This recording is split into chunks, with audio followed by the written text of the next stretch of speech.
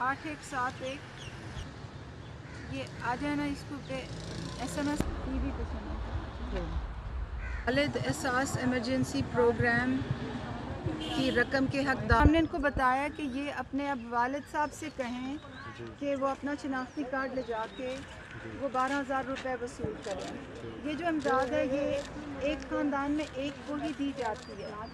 تو اگر آپ کے والد کو مل جائے گی تو آپ سب لے لیں گے۔ آج میں فیلڈ میں آئی ہوں، یہ دیکھنے کے لیے کہ جو ہم نے آٹھ ایک، سات ایک کی جو ایس ایم ایس اسکیم شروع کی ہے، لوگ اس سے کس طرح استفادہ کر سکتے ہیں؟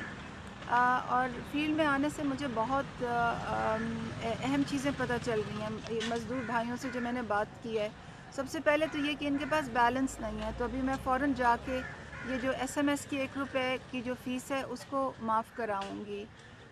پوری کوشش کروں گی کہ وہ پی ٹی اے معاف کر دے فیس۔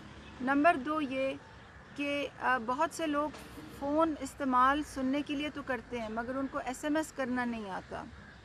تو ابھی جا کے میں والنٹیئر فورس سے بات کروں گی کہ وہ ایسی جگہوں میں آئیں اور جہاں مزدور بھائی ہیں، جن کو اسکیم کا معلوم ہے اور وہ اس سے استفادہ کرنا چاہتے ہیں، مگر ایس ایم ایس کرنا نہیں جانتے تو ان کی مدد ہو اور ان کے لیے کوئی ایس ایم ایس کر۔ جب تک ہمارے پاس ان کے آئیڈینٹی کارڈ نمبر ایسے بذریعہ ایس ایم ایس نہیں آئیں گے، تب تک ہم ان کی مدد نہیں کر سکیں گے۔